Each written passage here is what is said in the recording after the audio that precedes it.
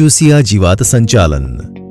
કપાસના પાક પર શરૂઆતના દિવસોમાં વિકાસ દરમિયાન અનેક જીવાતો દ્વારા હુમલો થાય છે જેથી આ પ્રારંભિક ચરણમાં ખેડૂતો વધુ જંતુનાશક દવાઓ છાંટે છે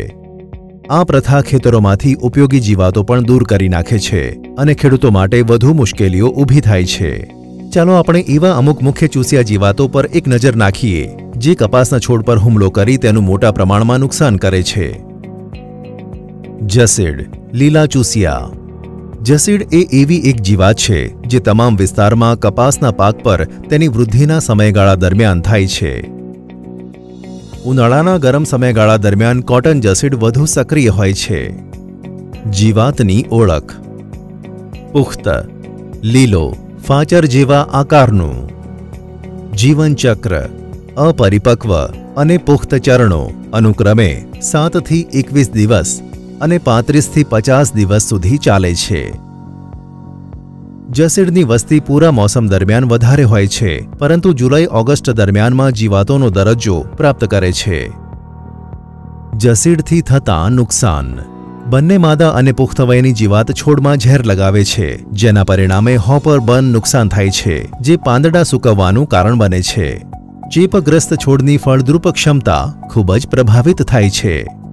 જસીડના ઉપદ્રવને કારણે કપાસમાં ગુણવત્તાની ઉપજ ઓછી થાય છે. નુકસાનના લક્ષણો. ઉપદ્રવ વાવેતરના પંદરથી વીસ દિવસથી શરૂ થાય છે. અસરગ્રસ્ત પાંદડા લગભગ આખા છોડ પર ક્ષીણ અને કર્લિંગના લક્ષણો દર્શાવે છે. ભારે ઉપદ્રવની હેઠળ પાંદડા સૂકવવાનું શરૂ થવા માંડે છે. સીમાંત હરિત દ્રવ્ય કે પાંદડા પીળા અને લાલ થઈ જાય છે. જસીડનું સંચાલન.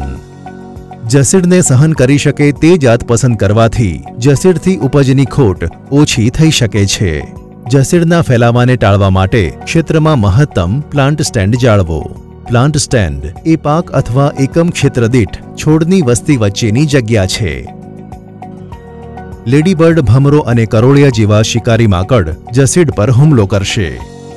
ખાતરનો વધુ પડતો ઉપયોગ ટાળો કારણ કે જસીડ વધારે નાઇટ્રોજનવાળા પાક પાસે આકર્ષાશે. રાસાયણિક જંતુનાશકોનો ઉપયોગ ત્યારે જ કરવો જ્યારે ઉપદ્રવ નિયંત્રણની બહાર જાય અને મોટું નુકસાન થવાનું હોય, જેથી આપણે કુદરતી શત્રુઓ અને પર્યાવરણને નુકસાન પહોંચાડવાનું ટાળી શકીએ.